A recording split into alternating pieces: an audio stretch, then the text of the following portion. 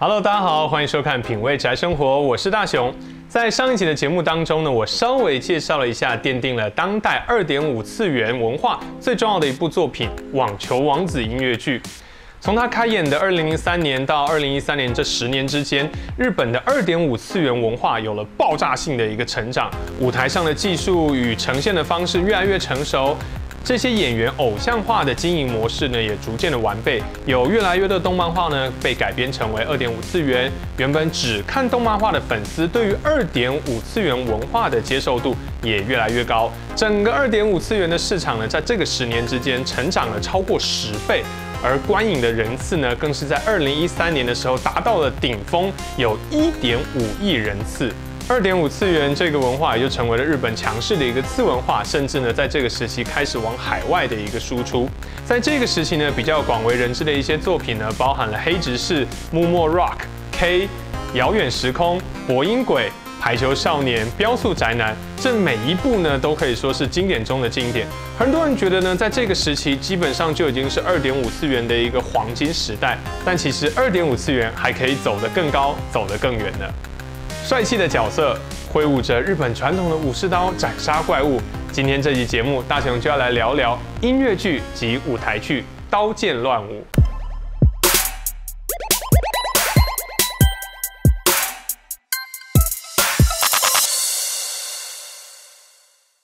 この番組はご覧のスポンサーの提供でお送りします。 二零一五年初，日本的 DMM.com 公司与 Nitro Plus 公司呢合作开发了一款以日本历史上的著名武士刀为主题，以搜集、强化、对战为内容的网页模拟养成游戏《刀剑乱舞 Online》。游戏的故事呢，设定在未来的二二零五年，描述玩家以审神者的身份，透过日本历史上的知名的武器，召唤出武器拟人的刀剑男子，来对抗企图改变日本历史的历史修正主义者。游戏开始后，玩家必须要培养自己的刀剑男子们，让他们编成小队，派他们到不同的时代去执行任务，或者是送他们去极化修行，来获得更强的一些能力。而执行任务之余，在本玩的刀剑男子们也会有着各式各样有趣的一些互动。也因为每把刀呢，在历史上都确实的活跃过，有着自己的主人，有着不同的故事，有着各式各样的传说。而这些设定呢，在由制作组去融合进每一个角色的性格当中，最后找来了多位人气的绘师来绘制角色，以及优秀的声优来诠释配音。《刀剑乱舞 Online》在推出之初就受到了不少的一个讨论，但是游戏推出之后，《刀剑乱舞 Online》还是必须要面对 IP 延展性的问题。毕竟在那个时期，日本其实各种网游及手游已经非常非常的蓬勃，有武器拟人化的 IP，《刀剑乱舞 Online》也不是唯一的一个。如果呢，只靠初期网页游戏这种游戏性比较低的一个平台，要把这个 IP 推到下一个阶段，其实是非常非常困难的。而这个时期呢，Media Mix 就派上一个用场了。刀剑乱舞 Online 的游戏推出之后呢，上一集节目当中提到《网球王子》音乐剧的制作人松田诚先生，就有一天无意的从剧组的工作人那边听到《刀剑乱舞 Online》的名字。原本不玩游戏的他呢，在了解了这个游戏了之后，他发现这个游戏非常适合做成舞台台剧，所以他就写了一份企划呢，跑去跟版权方提案。而最后呢，他的 Netke 公司获得了音乐剧的制作权利，而舞台剧的制作权利呢，则授权给了 Marvelous 公司。同年的十月，音乐剧《刀剑乱舞》开始进行了为期一个月的试演。二零一五年十月，由黑羽玛里央演出《三日月宗近》。北原良演出小胡丸，岐山义演出石切丸，佐伯大地演出岩荣，大平俊也演出金剑，佐藤留斯演出加州青光。音乐剧《刀剑乱舞》的第一部阿金贺志山一文的饰演公演正式的开始了。开幕之后，在舞台上呈现完了日本人所熟知的元义经跟武藏坊变庆的故事之后，伴随着这一首主题曲的播放，刀剑男子们纷纷帅气的出场，冲上巨大的台阶，展现出属于自己角色的战斗风格。最后以优雅的阵型摆出帅气的 pose，呈现出那苦练许久的完美画面。而那一瞬间，观众的心无疑都被台上夺走了。刀剑乱舞的音乐剧呢，分成了上下两个部分。上半场呢，主要是音乐剧，而下半场呢，则会换上另外一套衣服，在角色设定维持不变的一个情况之下来进行歌舞的一个表演。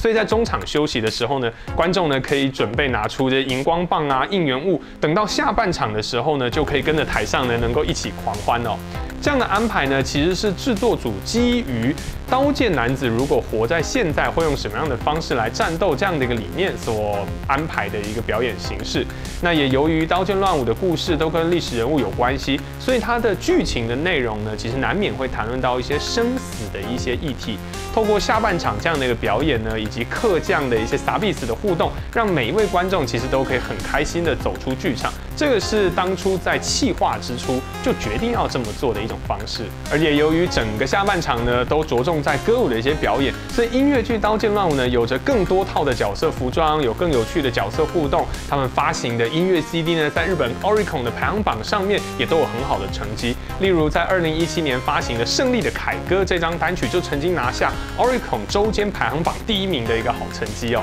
那从二零一六年开始，每一年会举办的真剑乱舞季呢，更是集结了所有的刀剑男子，带来一场有如大型的演唱会般的一个演出，也成为了每一个粉丝在每一年一定要参加的一次朝圣活动。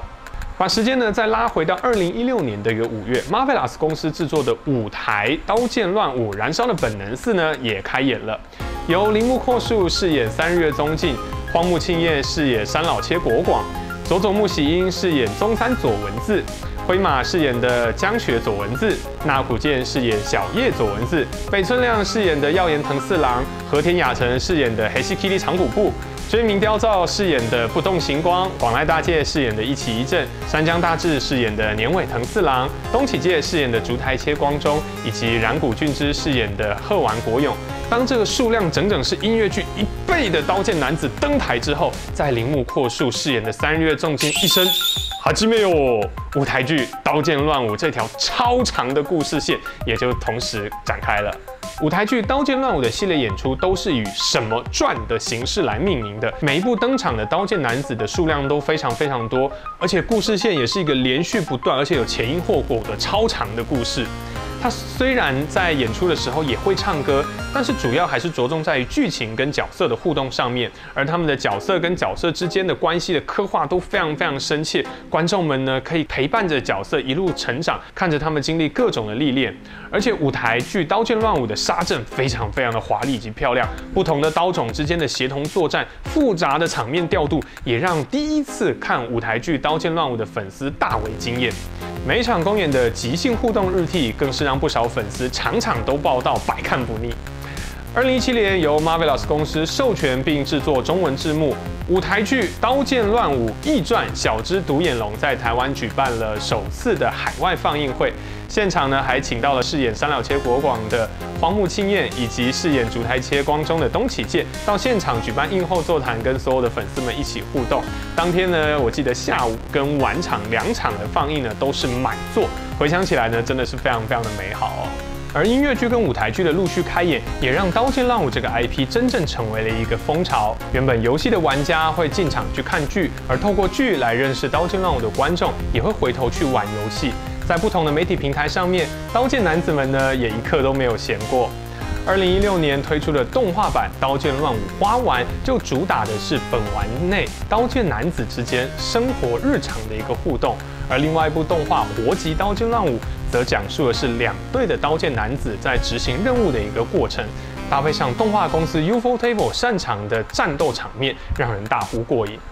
二零一九年推出的电影版《刀剑乱舞》启用了舞台剧的演员，甚至还在电影当中加入了只属于电影版才有的全新角色，让《刀剑乱舞》这个 IP 登上了电影的一个大荧幕。这一连串的 Media Mix 加上游戏不断的做系统的更新、角色的一个更新，也让《刀剑乱舞》这个 IP 越来越红，也越来越走入日本大众的一个视野。例如音乐剧《刀剑乱舞》的班底就曾经登上东京巨蛋担任棒球比赛的开球嘉宾，他们也上过红白歌合战、Music Station 这些电视节目。为在日本广岛县的国定古迹岩岛神社，在被认定成为日本国定古迹的二十周年的时候，也举办了一场奉纳形式的一个公演，来酬谢当地的一个神明。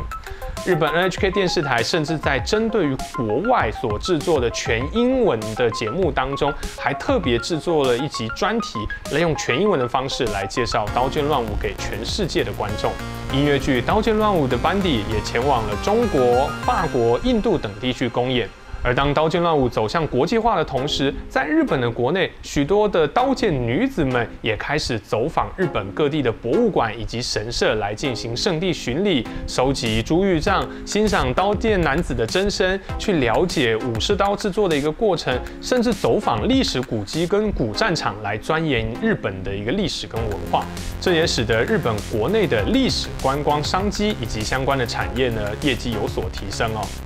东京博物馆的馆长呢，有一次接受访问的时候，曾经非常惊讶的表示，他非常意外，居然有这么多的女性参观者会特别来到他们的武器的一个展示区，来看看这些日本传统的武士刀。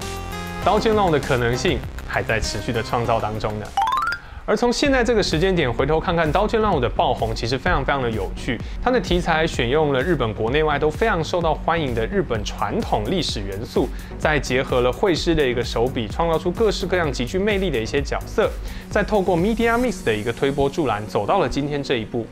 虽然很多人影片看到这边可能会讲说，哎，大雄你讲了这么多，可是其实你忽略了很多它背后的一些辛酸啦，以及黑暗面哦。例如像是游戏早期，其实它设计上有很多的一些缺点，并没有那么好玩，或者说原作的声优派跟二点五次元的演员派之间一直都会有争论，刀音跟刀舞到底谁演的比较好，也会有争论。刀剑女子跟丽女之间呢，也会有争论。上字幕推广以及尊重 BD 的销量要看生肉，也会有争论。但其实对于想要认识这个 IP 的人来说，如果你想要了解故事的主轴以及所有的刀男的粉丝们，你可以去玩游戏。如果你喜欢的是剧情深度很够，而且角色的互动性很高的话，那你可以去看舞台剧跟电影。那如果你喜欢娱乐性比较高，注重台上跟台下的互动的话，你可以去看音乐剧。如果你只是想要轻轻松松的看看角色的互动的日常的话呢，你可以去看花丸的动画版。如果想要看帅气的战斗场景的话呢，可以看活集。那如果说这些都不满足，其实你还是可以靠同人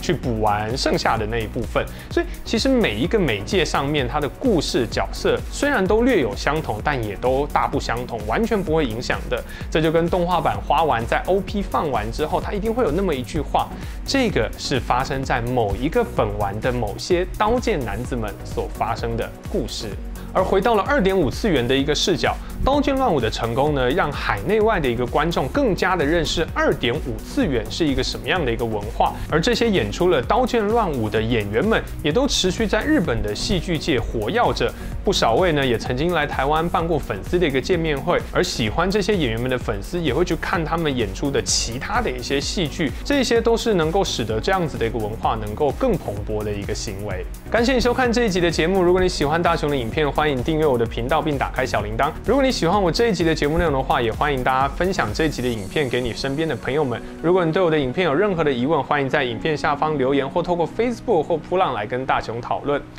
品味宅生活，我们下集见喽，拜拜。